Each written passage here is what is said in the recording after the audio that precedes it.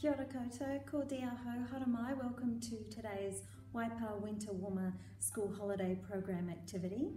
Today we're asking you to write a story. And the things we'd like you to write about, we're just going to put on the screen now. Have some fun and get creative. There are lots of prizes to be won in different age categories, so good luck. Your story needs to be about winter.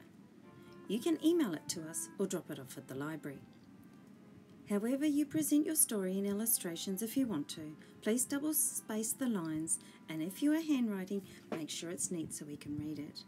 After the holidays, we'll judge the winners in the following age groups. You can win Paper Plus and DVD vouchers, and we will publish winning stories on our Facebook page. Here are some story ideas to get you going. But you can write anything, but with a winter theme.